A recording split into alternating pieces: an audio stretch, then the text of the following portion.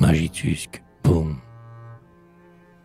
Mugissement des bœufs, au temps du doux Virgile, comme aujourd'hui, le soir, quand fuit la nuit agile, ou le matin, quand l'aube au champ extasié verse à flot la rosée le jour, vous disiez Mûrissez, blé mouvant, prêt, emplissez-vous d'herbe, que la terre, agitant son panache de gerbes, chante dans l'onde d'or d'une riche moisson.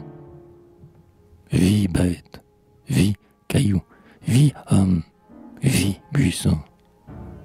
À l'heure où le soleil se couche, où l'herbe est pleine, des grands fantômes noirs des arbres de la plaine, jusqu'au lointain coteau rampant et grandissant, quand le brun laboureur des collines descend et retourne à son toit d'où sort une fumée, que la soif de revoir sa femme bien-aimée, et l'enfant quand ses bras il réchauffait, que ce désir, croissant chaque pas qu'il fait, imite dans son cœur l'allongement de l'ombre.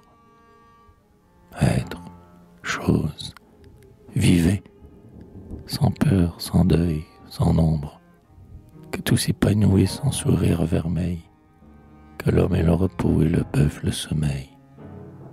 Vivez, croissez, semez le grain à l'aventure, qu'on sente frissonner dans toute la nature, sous la feuille des nids, au seuil blanc des maisons, dans l'obscur tremblement des profonds horizons, un vaste emportement d'aimer, dans l'herbe verte, dans l'antre, dans l'étang, dans la clairière ouverte, d'aimer sans fin, d'aimer toujours, d'aimer encore, sous la sérénité des sombres astres d'or.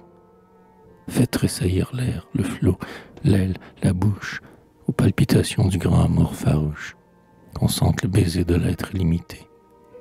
Et paix, vertu, bonheur, espérance, bonté, aux fruits divins tombés des branches éternelles.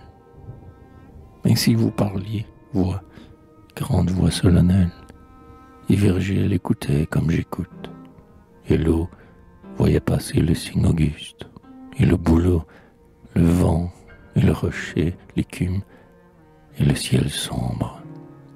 L'homme, oh nature, abîme, immensité de l'ombre.